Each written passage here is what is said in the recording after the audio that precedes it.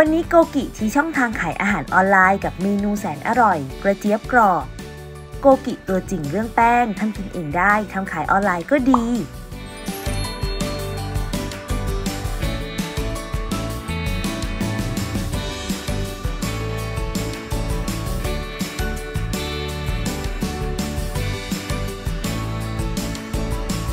วิธีทำ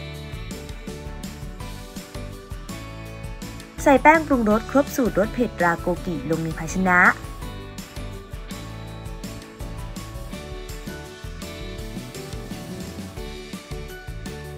ตามด้วยน้ำเย็น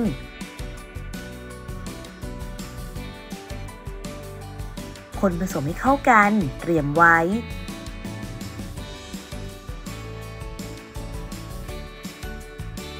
นำกระเจี๊ยบลงคลุกแป้งปรุงรสครบสูตรรสเผ็ดราโกกิ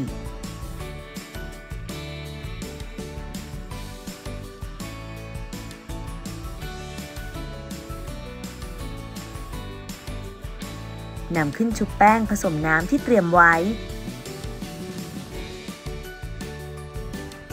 จากนั้นนำลงทอดในน้ำมันพืชที่อุ่นไว้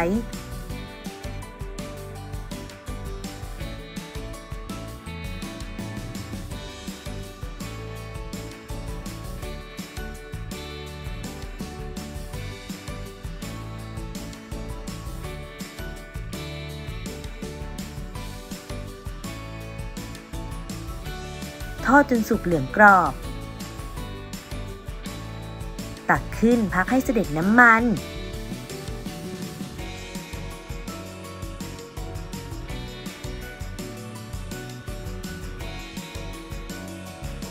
จัดใส่ภาชนะรับประทานกับซอสพริก พร้อมเสิร์ฟค่ะกับกระเจี๊ยบกรอบทำไม่ยากเลยใช่ไหมล่ะคะ กรอบอร่อยทันสมัยใช้โกกินะคะ